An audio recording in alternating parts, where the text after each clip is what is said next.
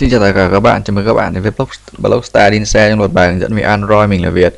Um, Bài này chúng ta sẽ bước vào bài thứ hai của loạt bài hướng dẫn về um, xây dựng một cái news application.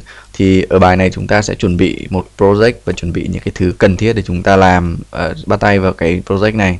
Um, Đầu tiên thì các bạn, um, mình cần các bạn làm đấy là tìm những cái icon mà các bạn muốn. Ví dụ uh, tức là chúng ta cần một cái icon cho cái uh, application. Ví dụ như đây mình tìm một cái, cái application là new và đồng thời là các bạn nên tìm những cái icon của website những cái logo của website mà các bạn muốn làm. Thì ví dụ ở đây đơn giản nhất là mình dùng cái VN Express. Thì đấy là hai cái đầu tiên mà chúng ta cần. Tiếp đến là chúng ta sẽ tạo một cái project uh, Android.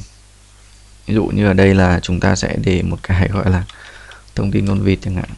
Ducky News. Thì ở đây chúng ta sẽ có một cái ờ, package như này. Chúng ta sẽ dùng cái Android version phổ biến là 2.2 Đấy. đến chỗ tìm về cái ờ, icon thì chúng ta sẽ chọn file. Và chúng ta link đến cái icon mà chúng ta đã tạo và các bạn nếu muốn các bạn thì có thể chọn những cái viền ví dụ như những cái màu sắc mà các bạn muốn background đây. Mình thì không thích nên mình đặt là để chọn none. Thì như đây thế này mình có. Next. Bây giờ chúng ta sẽ tạo một blank activity. Thì đầu tiên cái này là mình sẽ đặt một cái activity gọi là paper. Paper activity uh, layout thì mình đặt là paper tiếp đến là ở đây, ví dụ như là mình đặt cái title là gì nhỉ? Tin tức Việt Nam. Xong ấn finish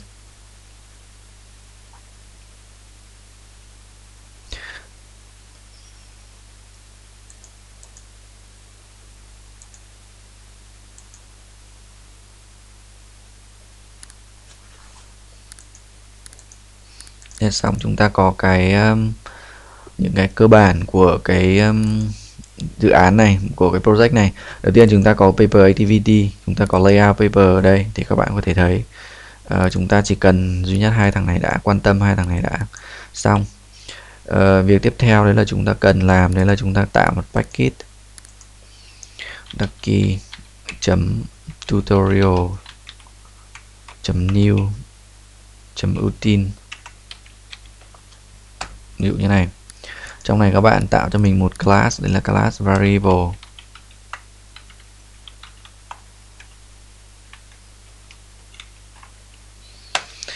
Thì cái này là cái mà để chứa những cái um, gọi là, chứa những cái um, cái biến mà chúng ta cần làm và cần sử dụng. Đầu tiên là public static final. String paper.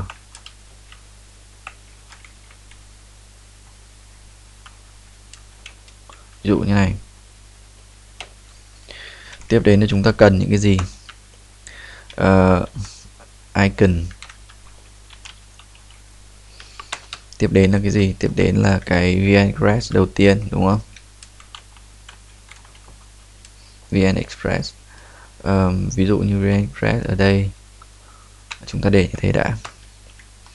Chúng ta cần thêm một cái nữa là vn express. Express. Uh, category.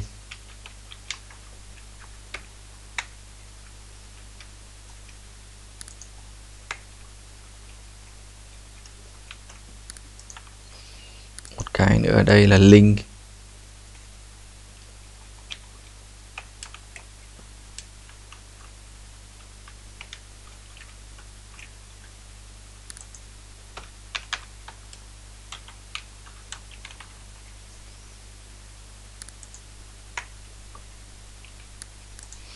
tiếp đến là cái gì nhỉ? Ví dụ như là oh, chúng ta cần sử dụng một cái mảng hai chiều.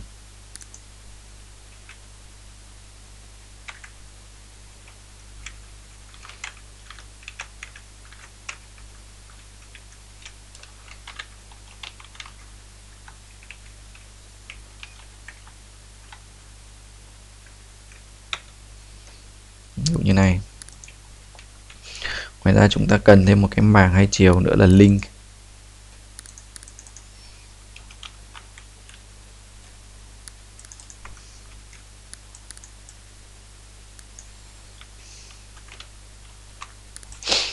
Ok um, mình sẽ giải thích một số cái biến như này. Đầu tiên cái ờ, paper cái cái cái mảng một chiều này chúng ta sẽ dùng để làm nó hiển thị lên những cái tên của cái báo ví dụ như VnCrash chẳng hạn ví dụ thế. À, ngoài ra là chúng ta có cái icon. Icon ở đây thì chúng ta có những cái liên quan đến những cái logo của của cái của cái website đấy thì chúng ta vứt vào đây. Tiếp đến là cái à cái này chắc chúng ta không cần cái này chúng ta có thể remove đi. À, chúng ta có VnRest categories thì đây chính là cái mảng một chiều những cái category cho VnRest ví dụ như là uh, trang chủ xã hội văn hóa ca nhạc gì gì đấy. Ví dụ thế. Vn link là từng cái link cho từng cái category đấy. Tiếp đến là cái chúng ta cần cái gì? Đấy là một cái mảng hai chiều categories. Cái này chính là mảng hai chiều một chiều là với các paper một chiều là các categories. Thì đấy chúng ta có cái này. Và tương ứng với chúng ta có cái link. Um, chúng ta sẽ delete cái này đi. Bây giờ chúng ta cần làm cái gì là thêm ở đây. Đầu tiên là thêm paper. Ví dụ như là vn express là cái đầu tiên. Tiếp đến là cái icon thì r.raw royable chấm. Thì chúng ta chưa có đúng không? Thì chúng ta cần copy vào. Chúng ta cần copy cái vnpress này vào. Vứt nó vào thư mục royable đây. Ờ, ở uh, royable hdpi đây uh, paste. Xong chúng ta clean nó một cái. Xong thì khi này chúng ta drawable chấm xong. Thì chúng ta có cái à, xin lỗi các bạn ở đây là số nguyên. Tức là drawable thì nó là một dạng số số nguyên. Tức là nó là index. Tiếp đến là chúng ta cần cái vnrest category này. Các bạn vào cái trang chủ vnrest ở đây. Các bạn vào lại cái thằng à, rss này. Các bạn sẽ thấy nó có các mục như này, thì đây các bạn sẽ copy hết tất cả những cái đống này vào. Trang chủ xã hội thì mình chỉ làm demo hai cái đầu thôi. Trang chủ này.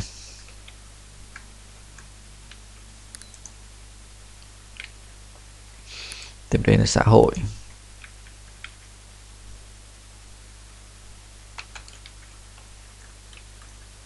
Đây chúng ta có cái link này vào. Vứt vào đây. Cái nữa là xã hội ở đây.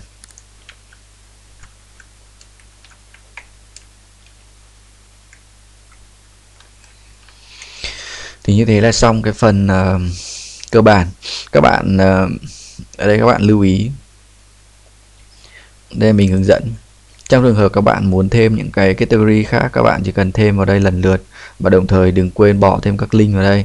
Khi các bạn thêm các vn à, thêm các paper khác ví dụ như 24 giờ.com chẳng hạn thì các bạn thêm vào đây thêm icon cho nó ở đây và đồng thời cũng tạo thêm những cái biến tương tự cho 24 giờ đối với VnExpress và ngoài ra thì chúng ta phải thêm nó vào ở chỗ cái à, category đây thì các bạn sẽ thêm vào thì đấy là cái cách mà chúng ta mở rộng cái project thì ở bài loạt bài hướng dẫn này mình chỉ dừng lại những cái liên quan đến trong cái giới hạn này thôi uh, để cho nó ngắn gọn mà uhm, còn gì nữa nhỉ sao cho phần giới thiệu nhỉ Ok, thế là đủ cho một loạt bài hướng dẫn đầu tiên. Cảm ơn các bạn đã quan tâm theo dõi. Hẹn gặp lại các bạn ở các bài hướng dẫn tiếp theo cho cái loạt bài về News Application này.